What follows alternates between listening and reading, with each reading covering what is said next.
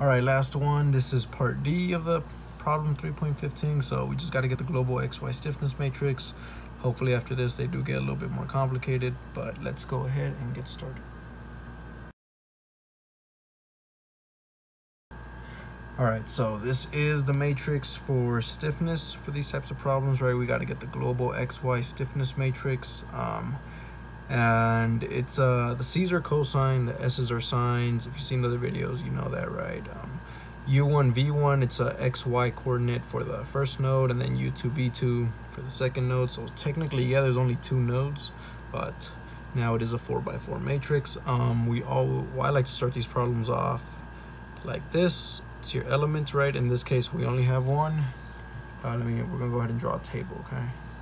Just like that. So it's element one, right?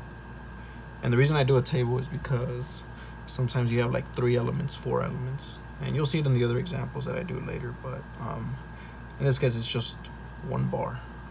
So that angle, don't get confused, right? They switched it up on us. Technically, this is still the positive x-axis, so it kind of, it's still like this, right? A perfect regular axis shifted up 20 degrees. It's always with respect to the x-axis. So that's 20 degrees for theta. It's not negative 20, okay? Um, so we got to get the cosine and the sine of that. So cosine of theta of 20 degrees, I'm going to go ahead and round these up to 0.94, cosine and sine to save space. And then sine is 0.34. And when you square them, uh, you're gonna get 0.883. Again, that's uh, from the calculator after I did cosine 20. I didn't do cosine of 0.94, so this might be a little different if you do cosine of this.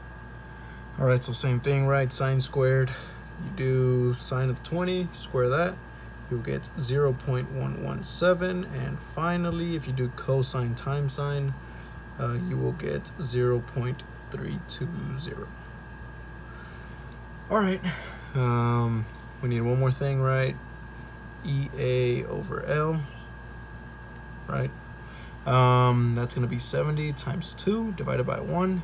That is 35 times 10 to the fifth, because this is 10 to the nine, this is negative four.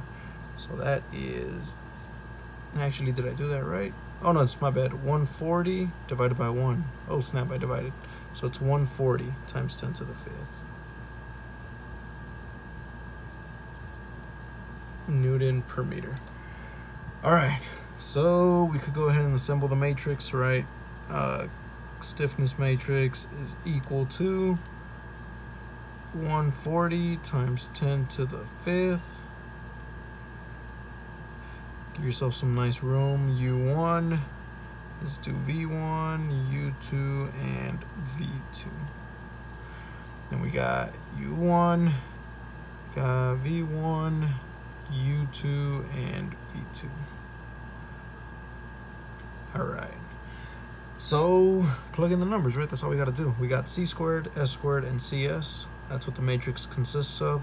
So we got C squared, S squared, C squared, S squared. So that is, I probably should get myself some more room. Ah, whatever. 0 0.883. I'm gonna write super small.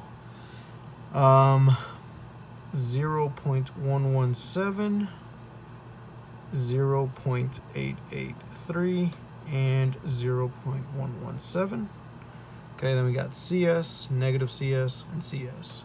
So we got 0.320, negative 0.320, and 0.320. Um, next, we got negative c squared, negative s squared. So negative c is negative 0.83883 if you don't know what I'm writing, just, I don't feel like erasing, just look at the numbers and where they go in, right? Um, uh, and negative s squared is negative 0.117. Finally, negative cs is negative 0.32. And that's pretty much it. Sorry, I wrote it a little small, but it's symmetrical. So this 0.320 goes here. This negative 0.883 goes here you know what? It's really bothering me, so I'll just go ahead and erase it and redo it. There we go. Um, negative 0.32. Now this negative 0.32 goes here. Man, it's a little tight, but it's all good. Negative 0.117 and then 0.320. I just got these numbers and followed the row column thing, right? So this one goes here, this one goes here, this one goes here, this one goes here, this one goes here, and this one goes here. So that's all it is, right? That's the matrix. That's the answer right there. Um, I think I saw a solution in the book.